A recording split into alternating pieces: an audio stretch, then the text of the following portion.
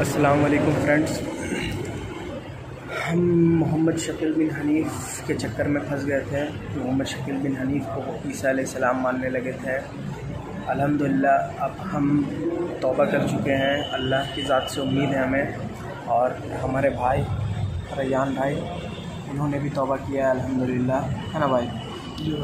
جی بھائی، ہم لوگوں نے توبہ کر لیا۔ اور اللہ پاک کا احسان ہے بہت بڑا کہ ہمیں باتیں ساری سمجھ آئی جس چنگل میں ہم پھنس گئے تھے، اللہ کا بہت بڑا احسان ہے کہ اس چنگل سے ہمیں نکال دیا اللہ پاک نے۔ بھائی تھوڑی تفسیر بتائیں گے کہ یہ کام کیسے چلتا ہے اور لوگ کس طرح سے گمراہ ہو رہے ہیں آج کے زمانے میں۔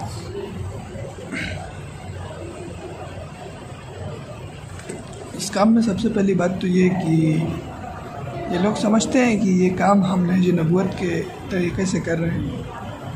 پر جو لوگ اس میں ہیں، ان کو میرا یہ میسیج رہے گا کہ وہ اس کام کو پرکھیں اور نجی نبوت کو پرکھیں۔ آپ صلی اللہ علیہ وسلم مکے میں رہتے تو مکے میں دعوت دیتے۔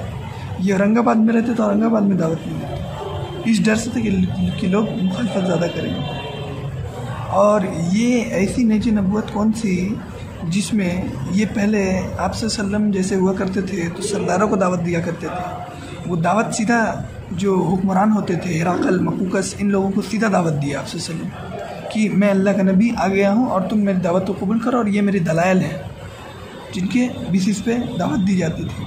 اور اس کے بعد اگر وہ ٹھکراتا تو پھر عوام میں کام چلتا تھا۔ مگر ان کا کہنا یہ ہے کہ پہلے جو ان کا سردار ہے ان کو دعوت مت دو کیونکہ وہ پوری امت کو برگلا دے گا۔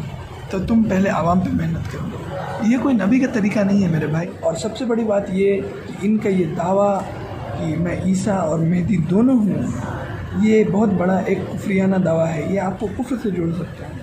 میرے بھائی، اگر آپ مہدی علیہ السلام کے ہاتھ پہ بیت نہیں ہوتے ہیں اور اس امت میں آپ صلی اللہ علیہ وسلم کو آخری نبی، آخری رسول خاتم النبی تسلیم کرتے ہوئے اگر آپ کی موت ہوتی ہے، تو آپ کفر میں نہیں مرتے۔ لیکن اگر آپ کسی جھوٹے کو مانتے ہیں کہ وہ مہدی ہے اور عیسیٰ ہے نوز باللہ، تو آپ کی موت کفر میں ہوتی ہے اور آپ کل کو اللہ کے سامنے سوال نہیں اٹھا اس شخص کے چنگل میں میں بھی پڑھا تھا اور میں بھی ایسا مانتا تھا اس کو کہ اپنا جان قربان کرنے کے لیے تیار اور ان کا بھی یہی حال تھا۔ تو آپ کے لیے سب سے پہلی بات تو یہ ہوگی کہ جو لوگ اس میں ہیں، وہ سب سے پہلے تو تحقیق کریں۔ اور جو لوگ اس چیز کی دعوت مل رہے کیونکہ دیکھیے، یہ لوگ کبھی سیدھا بولتے نہیں ہیں کہ محمد شکیل بن حنیف کے ہم دعوے دار ہیں یا کچھ ایسی باتیں نہیں یہ لوگ آپ کو آ کے بولیں گے کہ علیہ السلام آ گئے یا مہدی علیہ السلام آ گئے، یہ کبھی نام نہیں بولیں۔ گے آپ ان سے لائق پوچھیے گھما دیں گے، آپ کو نام نہیں بتائیں۔ گے آپ ان سے سیدھے بولے کہ جس شخص کی آپ دعوت دے رہے ہیں، اس کا نام شکیل بن حنیف ہے یا اس کا نام بتائیے، اس نام کیا ہے، اس کا اور اگر آپ کو لگتا ہے کہ کوئی شخص آپ کو دعوت دے رہا ہے مہدی ہونے کی، عیسیٰ ہونے کی، تو آپ فوراً اپنے جگہ کے علماء سے کانٹیکٹ کریں۔ ہاں۔ باقی اللہ کے نبی صلی اللہ علیہ وسلم کی صحیح حدیث اور قرآن سے کوئی باتیں دیکھی اور دلائل ہمارے پاس اتنے تو ہیں، آگے کسی ویڈیو میں ہم انشاءاللہ اپنے دلائل ڈالیں گے، ان کے کاٹ کے۔ ہمارے پاس پچیس، تیس سے زیادہ پوائنٹس ہیں جن میں ہم ان کی بات کو سراسر کاٹ دیتے ہیں۔ اور اسی بنا پہ ہم نے یہ کام چھوڑا ہے۔ اور یہ کوئی کمزور پوائنٹس نہیں ہیں، بہت مضبوط مضبوط پوائنٹس ہیں۔ جس طرح سے قادیانی، ہم پہلے سمجھتے تھے کہ لوگ ہمیں قادیانی کیوں کہتے ہیں، قادیانی کیوں کہتے ہیں۔ ہم نے اس بات کو ریئلائز کیا کہ یہ بھی جو دعویٰ ہے، یہ پورا پورا قادیانی بیسس پہ ہے۔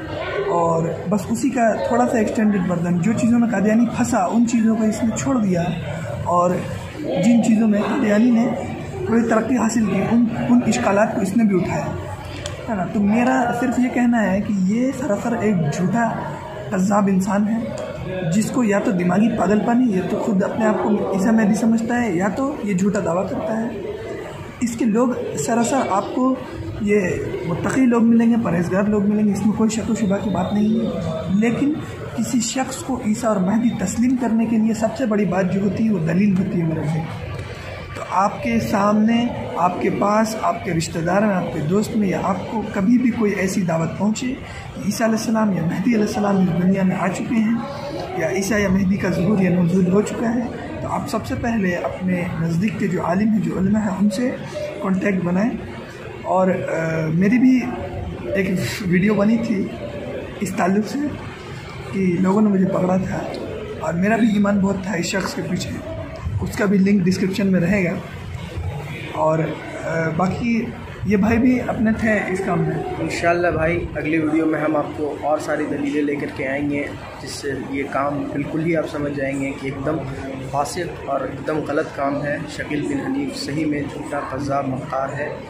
الحمدللہ۔ ہم لوگوں نے توبہ کر لیا ہے اور اللہ پاک کا احسان ہے اور آپ بھی اس فتنے سے بچیں اور یہ بات ایک دم یقین کے ساتھ رکھیں کہ عیسیٰ علیہ السلام ہندوستان میں تو نہیں آنے والے ہیں۔ اس بات کا ایک دم کامل ایمان اور یقین ہونا چاہیے اگر آپ مسلمان